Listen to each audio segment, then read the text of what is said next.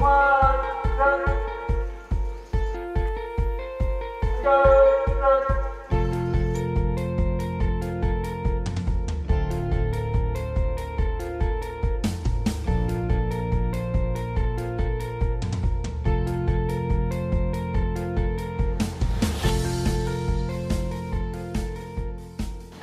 Ibu sekalian, izinkan saya ada beberapa hal yang perlu saya kira harus saya sampaikan pada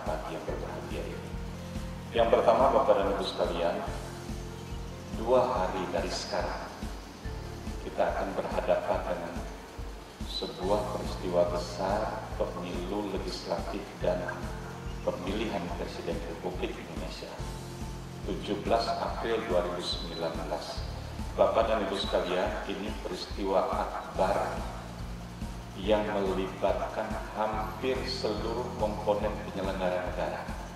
Oleh karena itu Bapak Ibu sekalian, ini peristiwa yang besar dan kita harus paham betul tanggalnya 17 April 2019, dua hari dari sekarang atau hari ini adalah Hamin 2.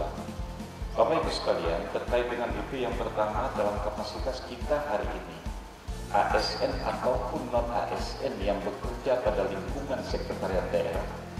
Saya ingatkan Bapak dan Ibu sekalian, kita sudah berkomitmen untuk pertama, kita netral.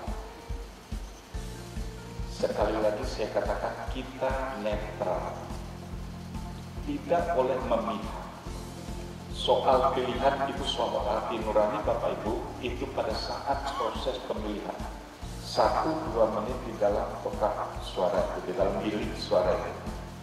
Yang kedua Bapak Ibu sekalian, saya perlu mengingatkan kita semua bahwa kita harus menjadi pelopor untuk penggunaan hak suara.